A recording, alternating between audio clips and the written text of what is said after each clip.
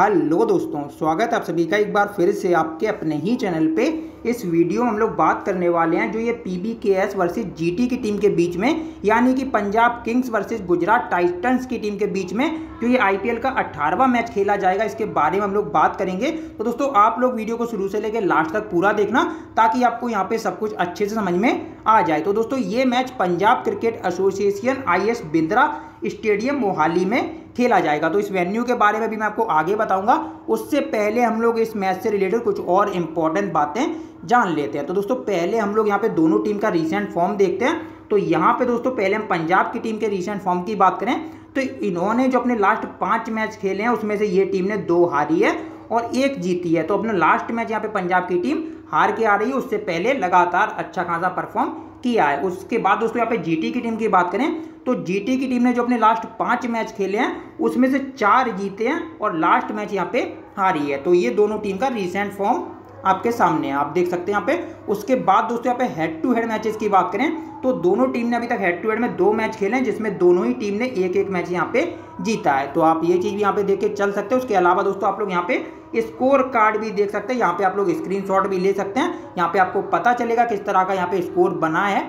उसके अलावा दोनों ही दोस्तों जो मैच जीते हैं, दोनों टीम ने, वो दोनों ने ही चेसिंग करते हुए जीते हैं। तो आप ये चीज़ यहाँ पे देख के चल सकते हैं। उसके अलावा दोस्तों यहाँ पे पॉइंट टेबल की बात करें तो इस सीरीज़ में यहाँ पे दोनों ही टीम ने तीन तीन मैच खेले हैं, जिसमें से दोनों टीम ने दो दो मैच यहाँ पे जीते हैं और एक एक मैच हारा है। तो आप ये चीज़ यहाँ पे देख के चल सकते हैं। उसके अलावा दोस्तों यहाँ पे हम लोग बात करें इस वेन्यू के बारे में तो वेन्यू के बारे में मैंने आपको बता ही दिया, ये मैच मोहाली में खेला जाएगा। तो इस वेन्यू के बारे में बात करें तो फ़र्स्ट इनिंग का एवरेज स्कोर एक सौ छियासठ का है, सेकेंड इनिंग का एवरेज स्कोर एक का रहा है, और जो टीम यहाँ पे टॉस जीतेगी, वो यहाँ पे बॉलिंग करने वाली है, क्योंकि यहाँ पे जो टीम टॉस जीतती है, वो पहले बॉलिंग ही ज़्यादा करती है, क्योंकि इस वेन्यू पर चेसिंग करना थोड़ा सा आसान होता है। तो ये चीज़ आप यहाँ पे देख के चल सकते हैं। उसके अलावा वेदर की बात करें, वेदर क्लियर रहने वाला है, बारिश के कोई चांस है नहीं। अब दोस्तों यहाँ पे विकेट की बात करें। यहाँ पे किसको ज़्यादा विकेट मिलते हैं? तो जो लास्ट दस मैच खेलेगा या तो उसमें से अगर आप देखेंगे तो 50 विकेट यहाँ पे पेसर को मिले हैं, अड़सठ विकेट स्पिनर को मिले हैं। तो यहाँ पे आप देख सकते हैं पेसर के मुकाबले स्पिनर ने ज़्यादा अच्छा किया है। उसके अलावा दोस्तों जो रिसेंट मैच खेले गए इस वेन्यू पे, आप उसका यहाँ पे स्कोर कार्ड भी देख सकते हैं ताकि आपको पता रहेगा यहाँ पे किस तरह का स्कोर बना है। तो इसी सीज़न में आईपीएल का एक मैच खेला गया है। अगर आप उसमें देखेंगे तो यहाँ पर पंजाब की टीम ने एक बनाए हैं, जिसको कोलकाता की टीम चेस नहीं कर पाई है। यहाँ पे कोलकाता की टीम चेस करते हुए सिर्फ़ एक सौ छियालीस बना पाई है। तो ये मैच पहले बैटिंग करने वाली टीम ने जीता है। उससे पहले दोस्तों, इस वेन्यू पे सैयद मुश्ताक अली ट्रॉफी के भी दो मैचेस खेले गए हैं। अगर आप उनमें भी देखेंगे यहाँ पे तो उनमें भी यहाँ पे लगभग एवरेज स्कोर यहाँ पे रहा है। पर आईपीएल में ठीक ठाक स्कोर बनाए उससे पहले जो सैयद मुश्ताक अली ट्रॉफी के जो मैचेस खेले गए हैं, उनमें यहाँ लगभग एवरेज स्कोर बनाए और दोनों ही मैच ये चेसिंग करने वाली टीम जीती हैं। तो दोस्तों ओवरऑल अगर बात करें तो ये एक बैलेंस विकेट है तो आप लोग एक बैलेंस विकेट मान के ही टीम बनाना तो आपकी एक अच्छी टीम बन पाएगी। तो दोस्तों, अब हम लोग चलते अपनी टीम क्रिएट करने। तो दोस्तों, अभी जो अपनी टीम क्रिएट करेंगे, वो लास्ट मैच की प्लेइंग इलेवन के हिसाब से करेंगे। बाकी जो फाइनल प्लेइंग इलेवन होगी, वो मैं टॉस के बाद आपको अपने टेलीग्राम पर शेयर कर ही देता हूँ। तो उसके लिए आप लोग मेरे टेलीग्राम से जुड़ जाना लिंक आपको डिस्क्रिप्शन और फ़र्स्ट कमेंट में मिल जाएगा। इसी वीडियो के। तो दोस्तों, यहाँ पे जब आप लोग अपनी टीम क्रिएट करने आएँगे तो विकेट कीपिंग में आपको काफ़ी अच्छे ऑप्शन मिलने वाले हैं। यहाँ पे मैथ्यू वेड है। अगर खेलते हैं तो स्मॉल लीग के लिए बेस्ट ऑप्शन रहेंगे, पर अभी खेल नहीं रहे हैं। तो इनके बारे में ज़्यादा बात नहीं करते दोस्तों, इनके अलावा जितेश शर्मा, काफ़ी अच्छे ऑप्शन है। रिकॉर्ड काफ़ी अच्छा रखते हैं, पर इस सीरीज़ में कुछ खास नहीं किया है। पर दोस्तों, ये भी एक डिफरेंशियल पिक बन सकते हैं। आप लोग ट्राई करना चाहें तो इनको भी स्मॉल लीग में भी कर सकते हैं, एक अच्छे ऑप्शन है। उसके अलावा रिद्धमान शाह तो सेफ़ ऑप्शन की बात करें तो यहाँ पे रिद्धमान शाह ही सेफ़ रहेंगे, जो आपको ओपनिंग पर दिखेंगे प्लस विकेट कीपिंग भी कर रहे हैं। तो मैंने यहाँ पे रिद्धमान शाह को लिया, उसके अलावा के शिरकत भारत खेलते भी हैं। तो स्मॉल लीग में मैं नहीं लूँगा, आप लोग जीएल में ट्राई कर सकते हैं। उसके अलावा दोस्तों यहाँ पे पी सिंह इन्होंने भी ठीक ठाक किया है। तो अगर आप लोग ट्राई करना चाहें तो इनको भी कर सकते हैं ओपनिंग पर दिखेंगे। और एक ठीक ठाक बल्लेबाज है तो ट्राई करना चाहें तो कर सकते हैं। हालाँकि विकेट कीपिंग यहाँ से दोस्तों जितेश शर्मा कर रहे हैं पी सिंह नहीं कर रहे हैं। तो आप ये चीज़ यहाँ पे देख के चलना। अब दोस्तों यहाँ पे हम चलें बैटिंग सेक्शन में। तो यहाँ पे मैं शिखर धवन को लूँगा। रिसेंट फॉर्म काफ़ी अच्छा है, काफ़ी अच्छा परफॉर्मेंस इन्होंने किया है। उसके अलावा सुमन गिल, इनका भी दोस्तों रिकॉर्ड काफ़ी अच्छा है head to head venue record भी इनका अच्छा है।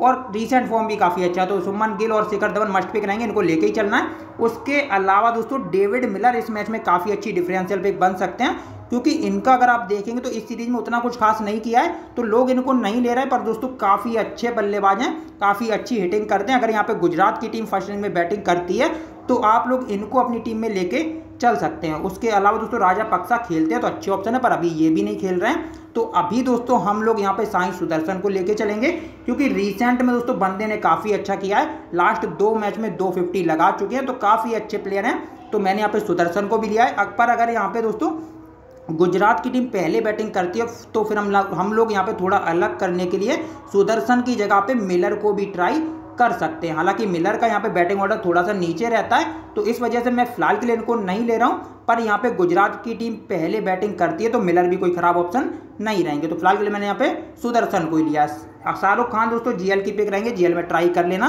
उसके अलावा नीचे बात करें तो नीचे भी कोई खेलने वाला है नहीं। अभिनव मनोहर उतने अच्छे पिक रहेंगे नहीं तो मनोहर को आप लोग जीएल में ट्राई कर सकते हैं। अब यहाँ पे दोस्तों ऑलराउंडर सेक्शन में चलें।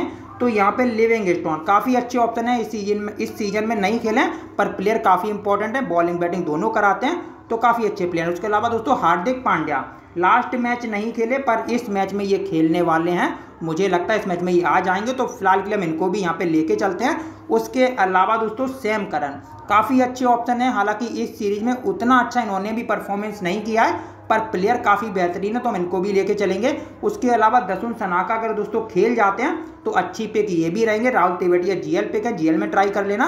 सिकंदर रजा प्लेइंग इलेवन में आते हैं तो काफ़ी अच्छे प्लेयर हैं और इंपॉर्टेंट हो जाएँगे। उसके अलावा विजय शंकर, दोस्तों इस सीरीज़ में विजय शंकर ने भी अच्छा खासा किया है, पर मैं इनको स्मॉल लीग में नहीं ले रहा हूँ, पर आप लोग जीएल में इनको ट्राई कर सकते हैं। उसके अलावा दोस्तों ऋषि धव ऋषि धवन अगर ये खेलते हैं तो काफ़ी अच्छे ऑप्शन है अच्छा खासा रिकॉर्ड रखते हैं और अच्छे प्लेयर हैं।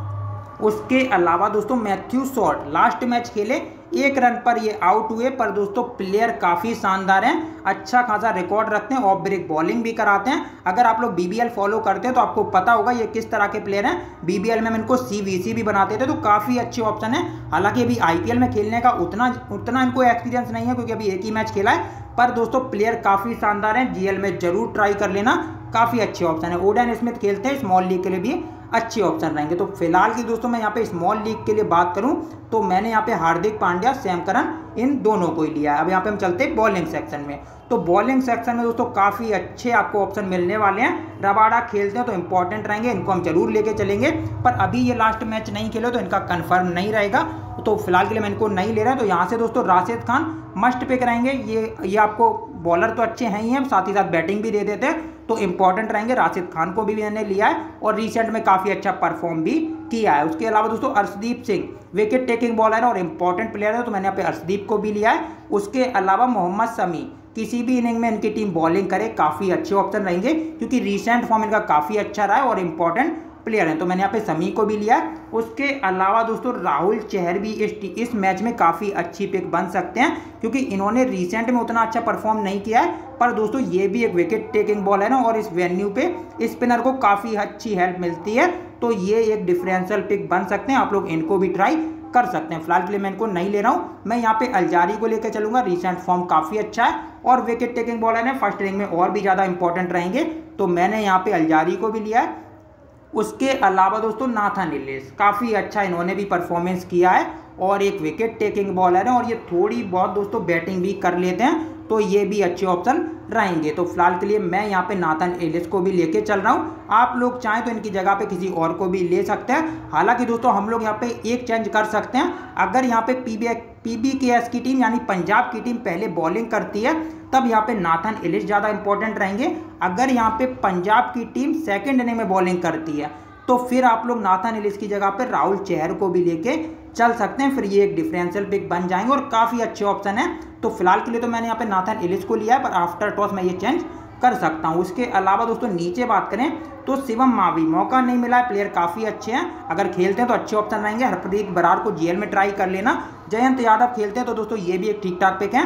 उसके अलावा जसुआ लिटेल अगर ये प्लेइंग इलेवन में आते हैं तो विकेट टेकिंग बॉलर हैं, अच्छे प्लेयर हैं ट्राइवल ऑप्शन रहेंगे। यश दयाल जीएल पिक रहेंगे जीएल में ट्राई करना। बाकी नीचे अभी कोई खेला नहीं तो इनके बारे में ज़्यादा बात नहीं करते। दोस्तों राठी को जीएल में ट्राई आप लोग कर सकते हैं, क्योंकि डोमेस्टिक लेवल पे इन्होंने भी ठीक ठाक परफॉर्मेंस किया है। तो जीएल में आप लोग एक आध टीम में इनको ट्राई कर सकते हैं। तो फ़िलहाल के दोस्तों, मैं स्मॉल लीग के लिए बात करूँ तो मैं यहाँ पे नाथन इलिस को ही लेके चल रहा हूँ। तो फ़िलहाल जो मेरी यहाँ पे टीम बन रही है, वो यहाँ पे कुछ इस प्रकार है। अब दोस्तों, यहाँ पे सी की बात करें तो इस मैच में सीबीसी के काफ़ी अच्छे ऑप्शन है। यहाँ पे आपके पास शिखर धवन एक ऑप्शन है सुमन गिल का एक ऑप्शन है सैम करन ऑप्शन है हार्दिक पांड्या का एक ऑप्शन है, और यहाँ पे राशिद खान तो ये पाँच अच्छे ऑप्शन है सीबीसी के।